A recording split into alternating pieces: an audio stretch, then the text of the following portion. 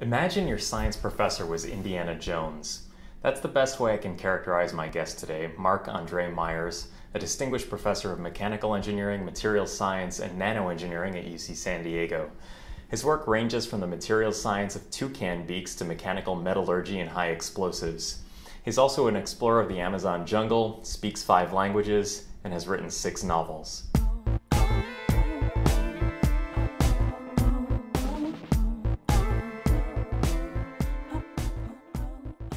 Welcome to Molecular Podcasting. I'm your host, Darren Lipomi. I'm a professor of nanoengineering at UC San Diego. I'm a trained chemist interested in ways in which electronic materials can be made soft and tough for applications ranging from cheap, indestructible solar panels to wearable medical devices to tactile interfaces for virtual reality. This podcast, however, is not about those things or about any scientific topic in particular. Instead, it's about the people who practice science, their inspirations, and their lives and careers. So rather than being another science podcast, this is a meta scientific or maybe peri scientific podcast, if that makes sense. Probably doesn't, but that's fine. Professor Marc Meyers is a Brazilian born distinguished professor and senior colleague at my home institution, UC San Diego. While he has hundreds of publications and tens of thousands of citations, this conversation is principally about his life and writing career. We start out with a discussion of a recent expedition deep in the Amazon jungle in which Marc's goal was to retrace the steps of Roosevelt and Rondon, a Brazilian explorer. I hope you enjoy listening to this conversation as much as I enjoyed participating in it.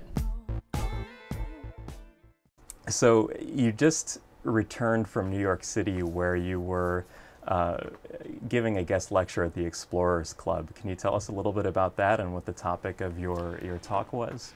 Yes. Uh, this was a, a momentous event in, in, my life. It's something that only happens uh, once. Uh, like Andy Warhol said, we all have our 15 minutes of fame. I went there. I was invited by the Explorers Club to give a lecture on the River of Doubt, the Centennial Expedition.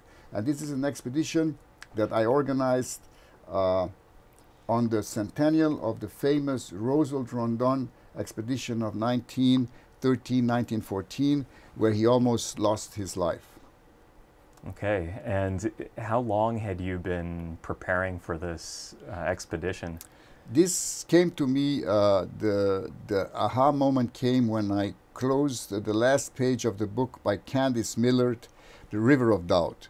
I had something that told me, Marc, you have to go and repeat that expedition using approximately the same means of transportation that they used uh, on horseback, on foot, and, and by canoe, and following, tracking the, uh, the same uh, territory that they tracked, but also adding to this uh, expedition a scientific component in the same way as, as Roosevelt and Rondon, they, have they had a scientific goal when they went down. They had with them naturalists, they had a geologist, uh, they had uh, uh, what they call a mammologist, which falls into the category of an ornithologist. And so they, they really were collecting information all along their expedition. So I wanted to keep this spirit alive. Mm -hmm. And this uh, ties in very well with your, your scientific work. So uh, I, I, attended a lecture of yours a few months ago, and you passed around samples, and you're well known in the, in the scientific community for studying the microstructure of uh, toucans' beaks and, uh, and interesting biological materials. So, so tell us a little bit about, uh, about your work, and, and this is almost like biological uh, archaeology, right? So you, you, take the, find these materials and study them. Yes, um, my, my scientific career actually started on, in a very different direction. I did my PhD uh, with explosives using shock, studying shock waves. I started this in 1972, and I spent, uh, I believe, 44 years uh, blowing things up. I did uh, explosives. I would set up as a graduate student my own explosives. It would be unheard of nowadays. I would just go there, cut the explosives up, and, and, and uh, accelerate fly-up plates in controlled environment. Then I went to Brazil and I, I went to work for the Military Institute of Engineering, and there I, uh, I was able to set up the first explosives uh, laboratory in, in Latin America, uh, collecting explosives, uh, um, mounting them, assembling them, and doing some, some meaningful research. Then I came to United States. I happened to be very fortunate at, this, at the New Mexico Institute of Mining and Technology. They, uh, I was there. I organized a conference on, on Explomet on explosives. We had a big uh, facility there. And I continued my career on explosives, uh, but I think that at some point uh, I had this desire to, to study something different, biological, and, and the, the, the, the, critical moment happened to me when I was actually a, a, a young uh, adult. I was like 20 years. I, I was with my father. My father was hunting. He loved to hunt. And I was laying in, in a little forest and I saw the toucans flying about my head. Uh, and so I, I, walked around and I found this uh, skeleton of a toucan. And I lifted the beak, and the beak was extremely light uh, and yet tough. It resisted torsion, bending, and I was puzzled by it. And this image stayed with me for 40 years, and every now and then I would tell a graduate student, let's study it, but nobody demonstrated any interest. They were very focused on their own work. And until I got one student, Matt Schneider, he actually did some research and we got a beak of a toucan. We purchased it here in Fallbrook and uh, from Jerry Jennings and we got the beak and then we studied the beak and it was like uh, a tremendous success. We were um, in National Geographic, we were featured in, in, in, in, the, in the news media and so I got excited with it and I uh, studied the toucan, and I also studied the abalone shells uh, under the disguise of army funding, uh, using as an uh, uh, motivation that it would be a good material that would inspire uh, armor. And so I expanded from there into a number of materials. And then I saw this opportunity, and I used to go to Brazil, I used to fish. I am fairly familiar with the Amazon. I have gone there several times. I know the Amazon fairly well. And you're from Brazil originally? I am from Brazil. And uh, so my father used to go fishing and hunting. The people from my hometown used to go fishing and hunting in the Amazon. The first time I went there, I spent 48 hours on a truck uh, driving through the Brazilian hinterland until we arrived at the river. We actually got stuck and we had to be pulled out by, uh, by ox, oxen. And so I uh, I went and started picking materials from the uh, Amazon, like the scales of the arapaimas, uh, the tooth, the tooth, the teeth of the piranha, and uh, there's a seed that has unique properties, the jarina seed, and so I found that that it, that uh, meshing this this expedition with uh, the collection of some specimens uh, gave it enriched it, and so this is uh, in line and in the spirit of the original Roosevelt expedition. And Roosevelt considered himself, and probably was in those days, he was a scientist because he was a he was very knowledgeable in, in a naturalist. He, since childhood, he, he had he had dedicated himself to it, and he really emphasized uh, in his book that he wrote about his expedition all of the observational aspects. And, and he was a, a, a, brilliant person and he was actually a precursor i would say of sociobiology because in some ways he expresses the view that after observing the animals uh, some, some birds he said most naturalists just take the bird and look at the bird in, the, in a biological way but it would be very nice to to observe these birds and animals for a long period to know their behavior in the wild and this is something that uh, I think was at that time not really emphasized. Mm-hmm. And this was uh, around the time when the term sociobiology was coined by Edward O. Wilson. And exactly, the, the yeah. famous textbook came out, um, and also caused quite a lot of controversy on the on the far political left. Um, yeah.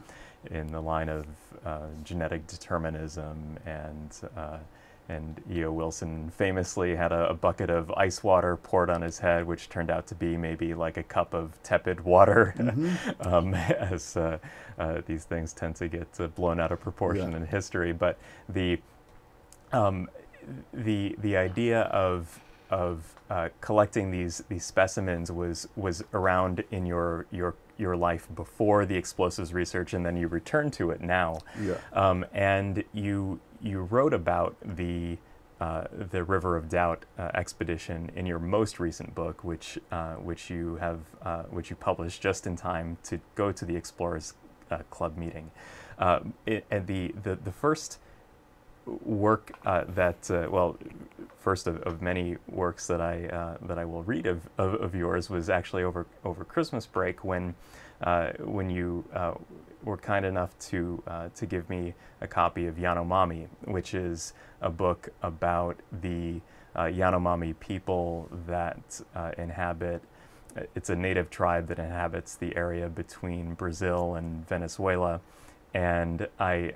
Uh, um, I wonder if you could you could tell me a little bit about the motivation for writing that book. Uh, Yanomami, I had always have a fascination with, with, with Indians. And uh, as a child, I would hear stories of Indians. I remember at home we had a book with pictures uh, by a Swiss uh, ethnographer, or he was just a Swiss adventurer called Tupari, where he spent, he actually went to an Indian village and spent uh, several months there. And it was always a dream that I had to visit Indian tribes and to live with them and to, in a certain way, understand uh, very simple societies and what drives uh, very people when they live in a society that, that where the structure is very loose and very simple and is not so hierarchical. This is also uh, resonates with uh, Levi Strauss, who actually also followed exactly the same trail as, as Roosevelt, as our trail. Uh, and he was in search of a society that was so simple that none of the uh, impositions of, of, of culture or of civilization uh, existed. So I was fascinated by that, and I made sporadic contacts with Indians. The Indian population in Brazil is very small, and I, I happened to fall upon a book by a, a, a famous anthropologist, Napoleon Chagnon. I don't know if my son had it in his uh, class. I think he has in his class, and I was fascinated by the book. And I visited Napoleon Chagnon. He was a professor in Santa Barbara. And I talked to him, and he told me about the plight of the Yanomami, how they are being uh, invaded, their lands are being invaded, and the difficulties that they underwent. And he spent actually six years with them, and he studied them at great length. And his theories are also controversial. And uh, he considers uh, he's more of a Darwinist. So I put him as a character in this novel under uh, disguise there. And uh, I tried to establish contact in Brazil and tried to get permission to visit the Yanomami. And I could not get the permission. I tried very hard. I wrote actually a proposal to the Brazilian uh, National Science Foundation. Uh, I went to the, tried, right and left, and I, I, I was not able to, to, to get success. They actually thought that I was a some people thought I was an American spy. There are theories uh, that that exist that the Yanomami land. There are efforts by by uh, foreign organizations that want to create a Yanomami nation that lies between Venezuela and Brazil, and that would uh, um, conflict with the the uh, Brazilian boundaries. So uh, I was not able to visit them, but my dream is not dead. I didn't visit them physically, but I visit them in spirit. And this is the book, I think, that has a little bit of their, their plight. Okay? I see. And when you when you write about uh, characters so so vividly, you must draw inspiration from people you know in your real life. Um, especially, there are scientists in the book. There's a, a, a, an evolutionary psychologist in the book who uh, is reminiscent of your colleague that you uh, that you that you mentioned.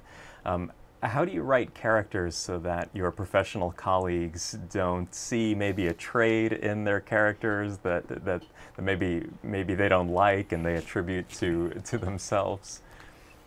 Well, this is a tricky situation, and I think that as I as I uh, as I evolve in my writing, I use more and more my imagination.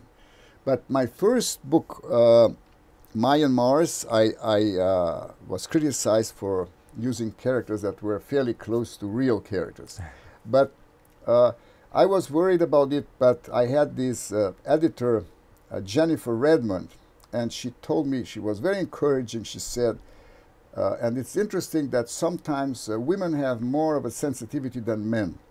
And she said, uh, and I had also some uh, scenes, like some love scenes, and I felt were a little, a little strong. And she said, absolutely not, Marc. They are absolutely, they are, are very apropos, and I like them very much. Another thing she said is, don't worry because if people see themselves, they will not admit to it. and if they don't see themselves, that's all right. So, but I took some some risks sometimes out of maybe my own limitations or because the characters somewhat I see around, I look around myself, and sometimes I see behavior that, that is interesting, that is uh, that would fit well in a novel, and I think I incorporated it into into the book. So uh, I think that uh, in my next novel uh, that I that I'm working on, I, I, believe that the characters are all uh, really fictitious, but in some cases I use the uh, the explo- I have one book on explosives, and there I I base some characters on real characters uh, that that uh, that I encountered through my, my career in the Soviet Union and in the United States. The one on Mayan Mars are some characters that are uh, involved in research projects, and uh, I think that every writer has this problem a little bit. There was a writer I heard him say that every time he finishes a book, he has to run out of his town for for a couple years, and, and then he comes back. Okay.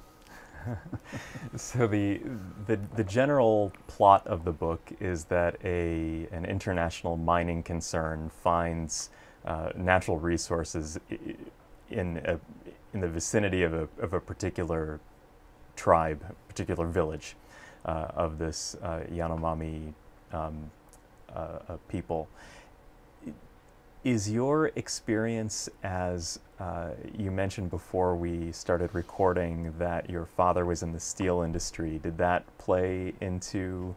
Uh, is is there some some historical uh, uh, uh, truth to to this particular story? Well, uh, my father was in the steel industry. My brother is in the mining industry. So from the stories he passed on to me and from some things that that have been reported in the media, it is absolutely true that that uh, tribes were displaced in order to exploit uh, the mines. Not only mining companies did it, but many uh, uh, uh rubber tapping companies and big ranchers, because the Brazilian law protects the Indians very much. Uh, Rondon, who was the companion of Roosevelt in this expedition, he created the Brazilian uh, Foundation for, for Protection of the Indian. And if there is an Indian uh, uh, territory where, where, or there are Indian tribes in a certain region, this region cannot be exploited. So the most convenient way is to get rid of the Indians. And this has been done in Brazil, unfortunately, throughout the Brazilian history many times, and the Indians were uh, the great losers in this large uh, uh, economic expansion of Brazil. Mm-hmm.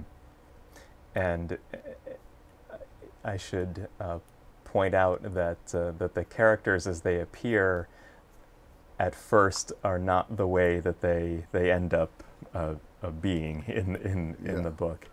Um, so while uh, while there are some archetypes, uh, the, the, there's much more that, that meets the eye to, to these characters, which is what I love about the book. Um, your protagonist is a is a strong female character. She's an undergraduate at Berkeley, and uh, and I wonder if there's a uh, if you've tapped into the vein of of um, popular uh, action adventure fiction that, that features female characters prominently, like the the two most recent Star Wars movies and the Hunger Games. Um, did, did, did this occur to you, or, or you just always wanted to have a, uh, strong female lead? Uh, yes, I think it occurred to me, and I enjoyed it, and and uh, so I, uh, I I had created all these these these uh, shady characters that were men, you know. So I thought I'll have a redeeming, somebody with redeeming values, and, and I made her her a, woman. Uh, in her case, I, I, uh, I, I based her a little bit on my daughter.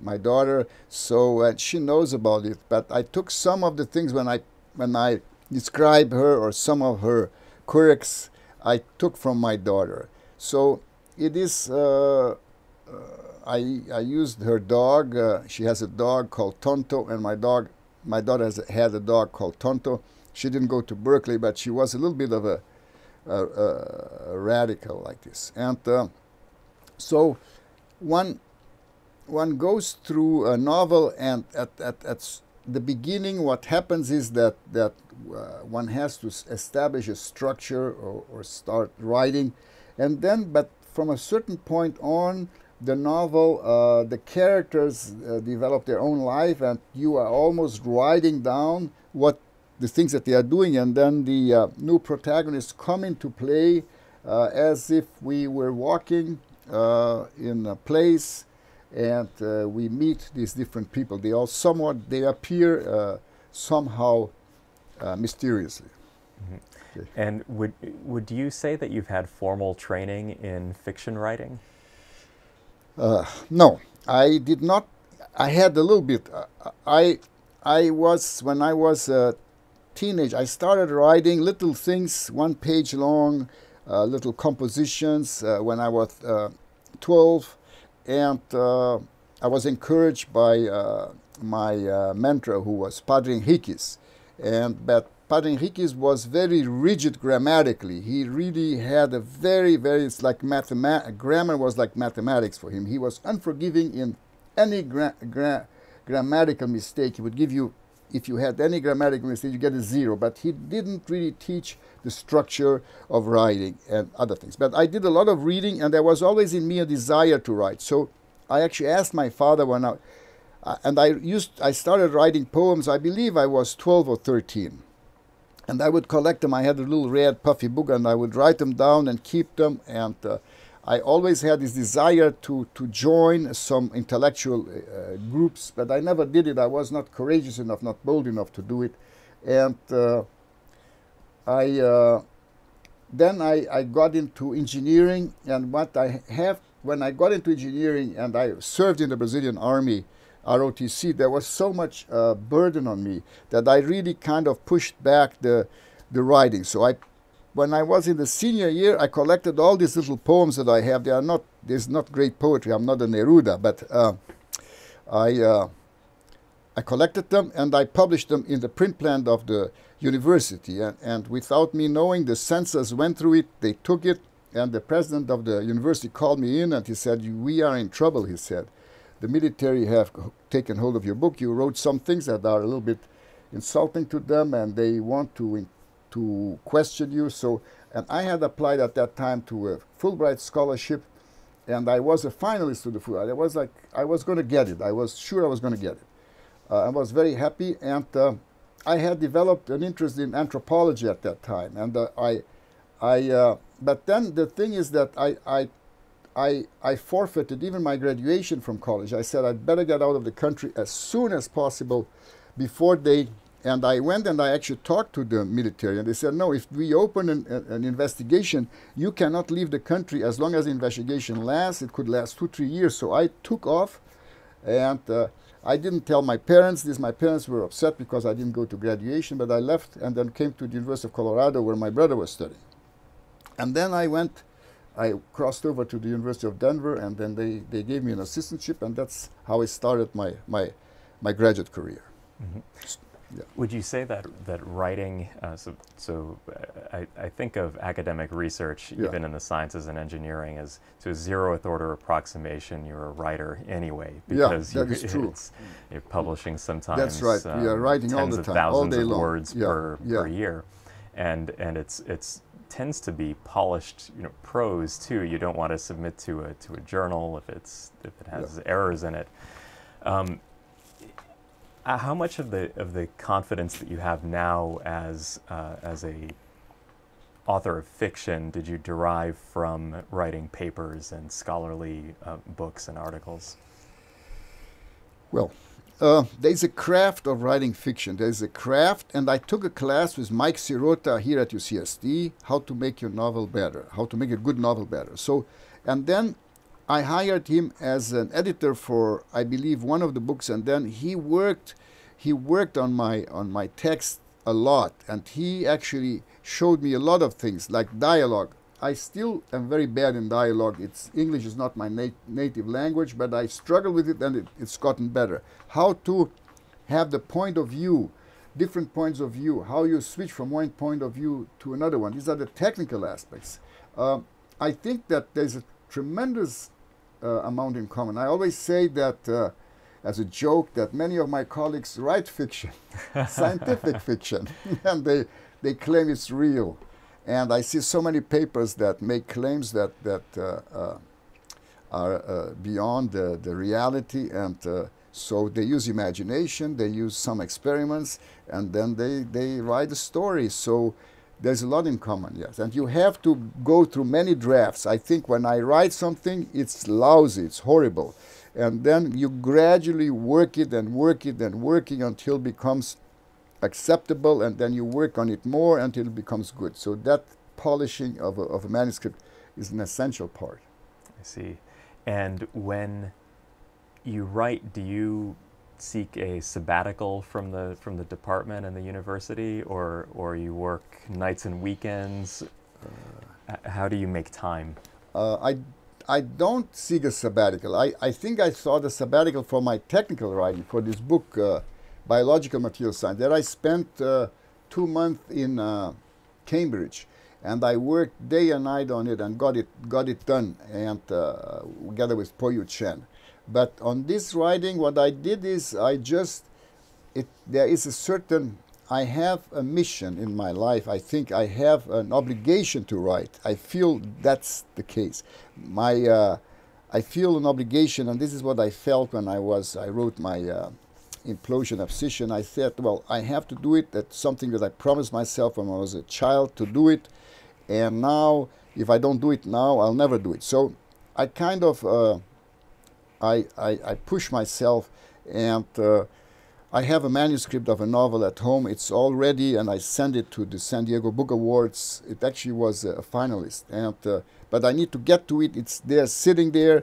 I think the most difficult part, I think, is is is uh, once you get the story down. You get the story. I sometimes stay in the morning. I write for one hour, and I cannot write for eight hours either because one writes and then uh, one has to, uh, the batteries have to be recharged. One runs out of material to write. So I think that the writing process, uh, I think the, the, the, the, getting the story together is, is, is, the complex part. Writing it down, one can write uh, 500 words a day, so a book is 80,000 80, words. You can do it in 160 days. If you sit down for mm-hmm. one hour a day, you can do it in, in, in, in a few months. So I, I just do it at home and then the process of rewriting and rewriting, that's what takes a lot of time. Yeah. What time of day do you accomplish your most creative uh, work? Yeah, when I was a kid, when I was young, I was a night night person, I would write that. But I abandoned I abandoned all writing when I was 22. I for many years I didn't write. I actually went to the Amazon when I was 22 and I spent two months in, in the Purus River, and I wrote a diary there. I wrote a lot. I wrote a dictionary of, a, of an Indian tribe, and I wrote all of my observations, and then I was going to publish them. And then I arrived in, in Denver. They stole my suitcase in the uh, airport, and my whole manuscript was. I didn't have a single. Uh, uh, I only had one single copy. Okay, and then I, I focused on writing textbook. I wrote a textbook in Brazil, mechanical metallurgy. I translated it to English and became mechanical metallurgy, and then it, it evolved into me mechanical behavior. So I focused mainly on the technical writing, and I think the discipline of technical writing helped me a lot to work through uh, a novel because that discipline uh, for you you're forced when you when you it's like uh, you have to take a class you have to prepare a class you have to write these things down so the same way in a book you have to write it down you have to get it down on paper see whether you are inspired or not i don't wait for inspiration i just grind through it through pain or, or, or through days of inspiration. Some days are lousy, but then it hopefully gradually works, works comes together. Yeah. So you mentioned that English is not your native language and that you're you're from Brazil originally. You but you speak other languages beyond Portuguese yeah. and English. And how did you come to uh, to learn these languages and, uh, and and and why and how often do you speak them?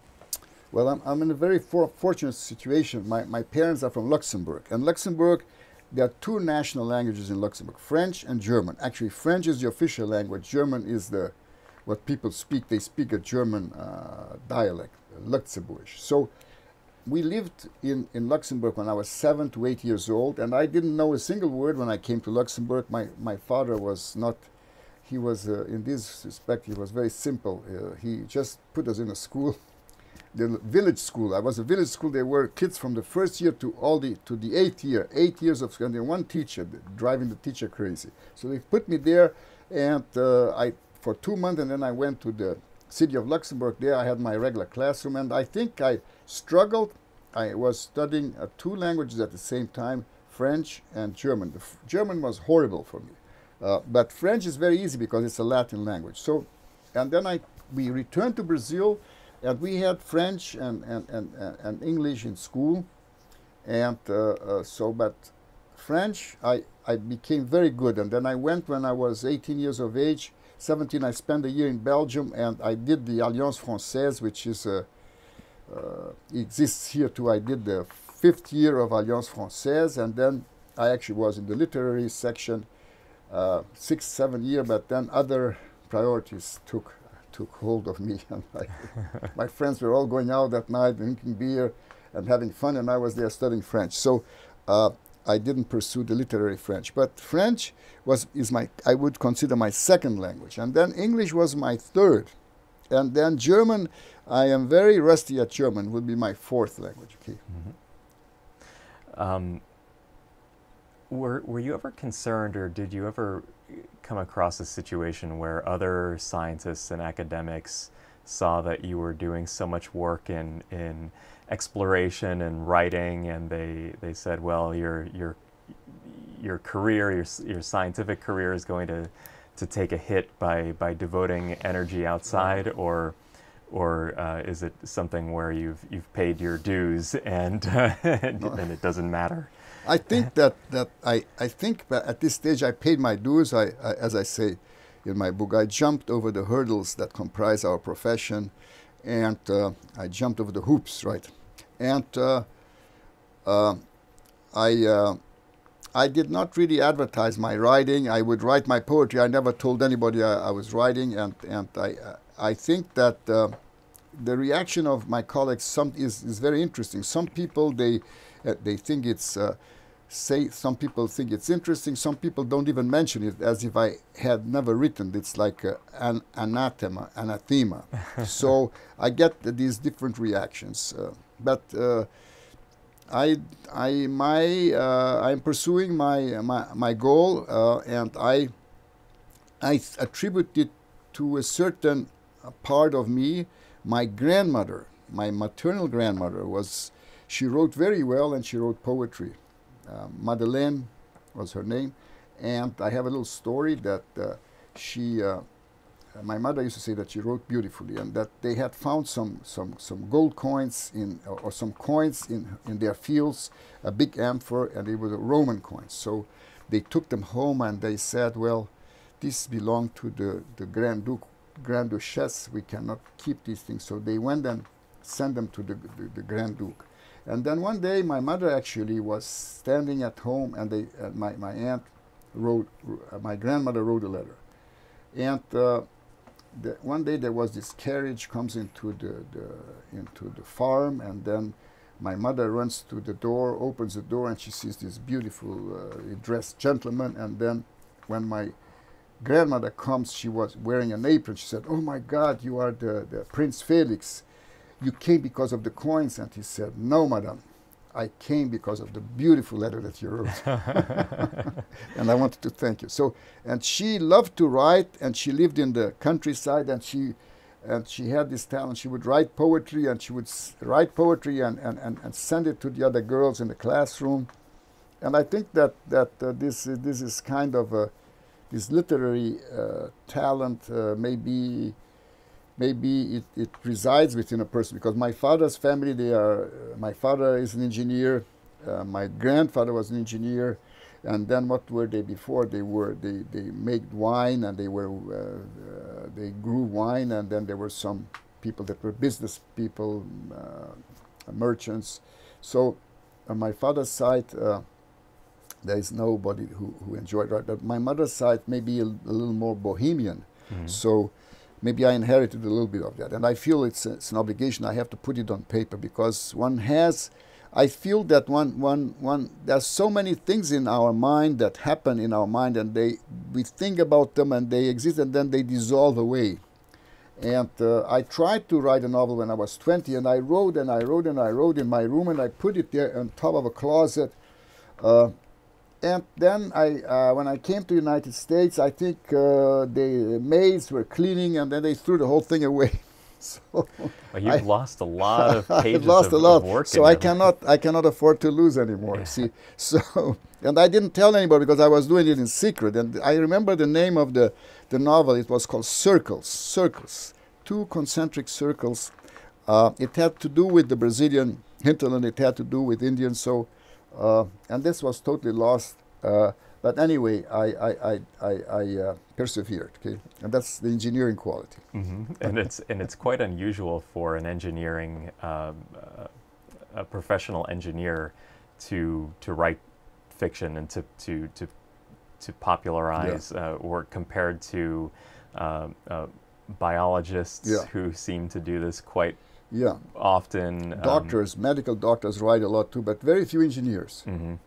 And I was uh, in Brazil, I went there and they had the first uh, World Congress of, of writer, engineer writers. And they invited me, so I went there and I gave a talk, and there were like uh, 30 of us uh, that were. Brazil has a very famous uh, writer that is an engineer. He's, he's considered one of the Brazilian heroes, Euclides da Cunha, and he was an engineer. And uh, and he wrote a, a, book called Os Sertões, and it's considered a classic in Brazilian literature. And then he proceeded to, to kill, get killed very young. As, so I think that, that uh, yeah. Very few chemists, too. Very few chemists, really? Um, and and uh, it seems to be something that biologists and cosmologists. Yeah, that is uh, right. They have a bigger, a broader vision. Medical doctors, because they deal with patients, with feelings, with uh, sentiments, with, with, tragedy, and they write. Military people write too about their their, their mm-hmm. adventures. Yeah. Have you ever uh, been tempted to write about a fictional material scientist? I have two here. I have two in uh, in uh, Mayan Mars. There is one guy called Gustavo Chen, and he's a material scientist and uh, he worked actually on uh, he worked on, on, on, materials yes. He worked on materials. And then in the other book uh, in uh, Chechnya Jihad I have one called Jean-Claude Jean-Claude Delvaux and he is also a material scientist and explosives expert and then he discovers a very powerful super powerful explosive and this is the beginning of the of the novel. Okay? Well, you're way ahead of my question.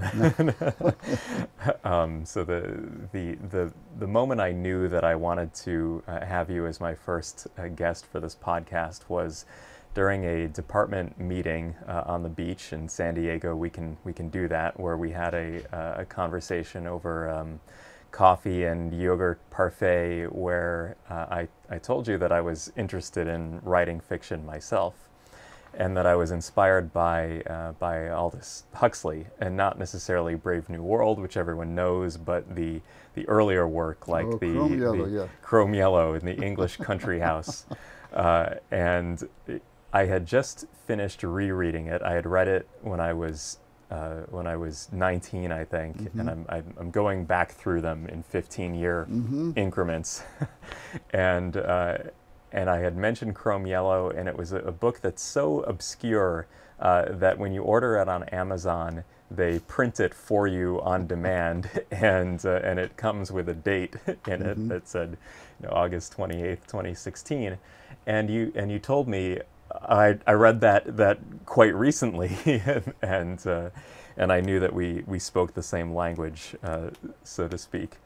I, I, I uh, you are much more met methodical probably than I am. I am, I am. Uh, my reading has been. Um, I am a little bit what they call omnivorous. I this Crome Yellow, for instance.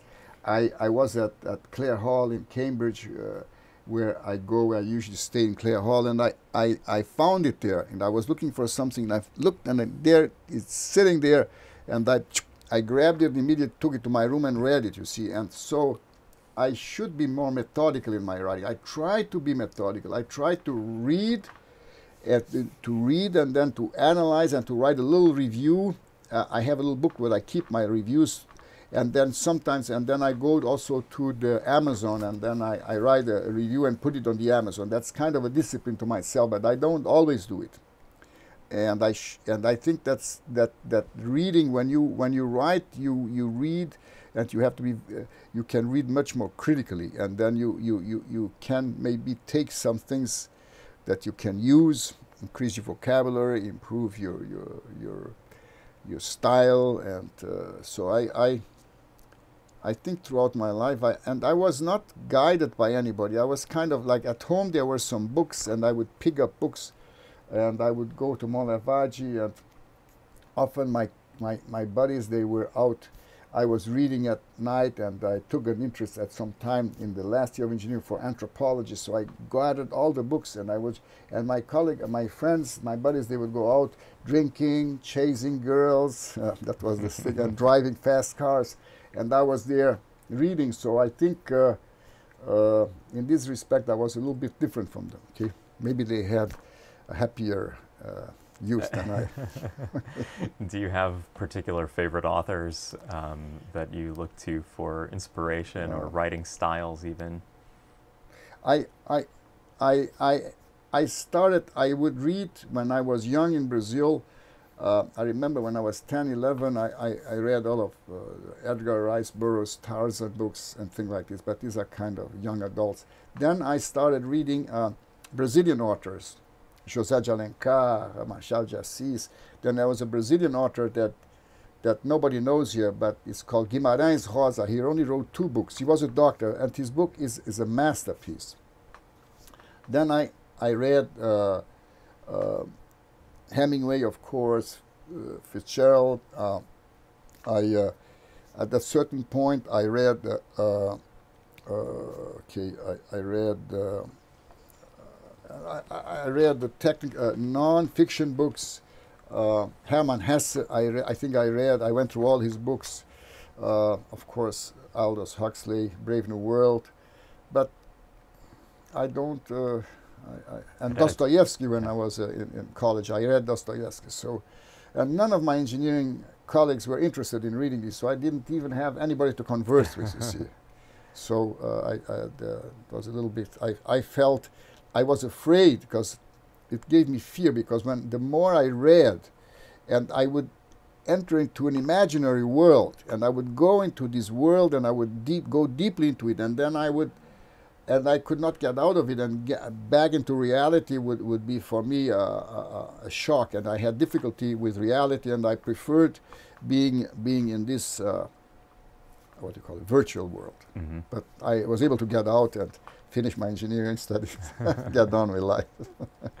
my father actually said that, Dad, I want to become a writer. He actually got me in touch with with a, with a report with a journalist, and he said the best way to become a good writer is you become a journalist. You write, write, write, and then he got me in touch with a journalist, and I, I did translation. So the guy uh, was not very inspiring character, but he asked me to uh, translate articles from French to Portuguese for him. So I would do this. I would go there as a volunteer. And then uh, he would then publish them in the Brazilian uh, newspaper, and it kind of got, got me mad because he would just put himself as, as author. So that's the first uh, instance I was exposed to plagiarism. and he had all these articles. He would give me these very complicated Cahiers du Cinéma, I don't know, some other Le Monde, and I had to to change, to translate them. I would give them to him, and then the next day the thing would come out with his name. But uh, uh, I, I kind of, uh, uh, my father said, get, become an engineer, my son. Study engineering, you can always write later. And he said, and also he said, and my mother used to say that you cannot write right now, she said, because you don't have any experience of life. You need experience of life to write, which I don't agree necessarily. I think that uh, many writers, they wrote when they were very young. You write about your experiences when you're young, you see. But in my case, it came late, you see. And, mm-hmm. uh, and uh, so I struggle a lot with writing. Uh, I think that if I had dedicated myself fully to writing, maybe I would have become a, a, a better writer. It's interesting that you mentioned journalism and yeah. uh, translation because you have a deadline and there can't be a writer's yeah. block because that is right. You have you, to do it. You have to get do it. Get it out. So many words. And and in some sense, uh, scientific writing as well because it's you have a, a yeah. deadline for a, for an article. So, what are your next uh, literary projects and okay. adventures and perhaps research projects? Okay. So in in research, I got into this biological research and. Uh, I tell jokingly to my, my friends that in the end of the day, I'll be known for the biological work and not for the explosives work. they get very mad at me. But anyway, I think that the, the re repercussion of this work is great. Biological and bio-inspired materials. Everybody's talking about it. You publish a paper, uh, the news media just picks up on it. The, the, the, the, most uh, childish thing is taken uh, taken uh, and, and, and, and, and, because people relate to it. I think people relate to it. People don't relate to the to the mm, mathematical aspects of propagation of a shock wave and generation of defects in the material. Who cares, you see? But we all know who Toucan Sam is. Yeah, we know who Toucan Sam is. We know the abalone shells, the hair. I publish a paper on hair now, and they are saying that uh, they uh, wrote several articles on it on, on, the news about hair, that hair is going to be the next armor, and they show these beautiful ladies with blonde hair, and then uh, that's the, the, the, headline. They're kind of making fun of it too. But anyway, I think that, that uh, this is, I'll continue this area of biology. I have three areas actually. I have nanocrystalline metals, uh, extreme deformation and failure of material, extreme behavior of, materials, and the third one is biological and bio-inspired materials. So I plan to continue, uh, I don't know, until the sunset with these, or at least three areas. If I can get funding, that, that's a big challenge too. And then literary, I wrote a novel called uh, Our Lady of the Squids, and it's ready. It's sitting there, and uh, uh I think it's a good novel. It's a little bit in the in the in the in the style of uh, of uh, what you call it magic realism. It has some elements of magic realism, and I, I I'm developing my style in the sense that Mike Sirota, my editor, who also is author of several books, he was disciplining my style, my sentences to be short and to the point and cut down, cut down, cut down. But then I decided, well, I am a Latin American writer. I'm a South American writer. I, I am a little different, you see. I don't have to fit into this, uh, this template. So now I'm kind of developing my own style. I let my imagination flow and at the same time have, have a plot that people can read and follow. So this, I think, this novel is, uh, it's a very interesting novel. It's about the uh, squids, you see in Baja, and I traveled to Baja many times, and uh, it's about squids, and uh, it's about uh, uh the squid. Is, so there's where the magic realism comes in. These squids, there are giant squids on the beach, and this woman is, is, is ravaged by a squid, you see, and then nine months later, a little a little girl is born, and then it's the story of this little girl and the redemption of the sea, the the how the uh, the pollution of the sea, the destruction of the sea, and this girl will be the redeemer of the oceans. Okay, that's why she's Our Lady of the Squids. You see, mm-hmm. so and it, I also have the. In the meantime, as a background, the narco wars are raging. You see, and uh, uh, and there's a lot of fighting and things like this. And then I put a character in. I put a character in from uh, from Carlos Fuentes. It's called. Uh, there's a, a, man called uh, the Old Gringo. I don't know if you've heard of this novel. The Old Gringo. It's a beautiful novel. It's about an old, old American. It's a true story. He goes into Mexico. He's like 70 years of age. He's old, and he rides his horse across the Rio Grande, and he goes to Mexico, and he joins the revolutionary forces. And he came to Mexico to die, you know, because he's old and he's abandoning. So I put one of these characters is, is an old gringo, so I put him in there, uh, and he's. Uh, so I think it's I think it's it's a good novel. It, it needs to be worked on, and and the, the, the, but the difficulty is to find an agent and find uh, nowadays very very difficult. Mm-hmm. So I uh, I enjoy the process of writing, but the process of of finding agents is extremely difficult and complex, ex- especially since I don't have a, how do you call it? I don't have a is I don't have a I tried many agents and uh, I so I just publish I, with the small publishers and with a smaller market and uh, I'm happy with that. Okay? Mm-hmm. Content with that. Okay. Terrific. How about uh, adventures? Uh, not necessarily on the level of yeah. River of Doubt, yeah, but. Um, okay, River of Doubt. I, I uh, yeah, okay, adventures. I, I joined the Explorers Club. I have this little thing here. They gave it, to us. and so the Explorers Club is a wonderful organization, and they have actual flag expeditions. You can actually join the expeditions, and I this one on the River of Doubt, we did not finish the last part. That's the easy part. We still want to do that. But I would like to go, the next goal would be to go, I would like to go to the Yanomamo and spend some time with the Yanomamo. And I want to have as a, as a, as a, what's it an excuse.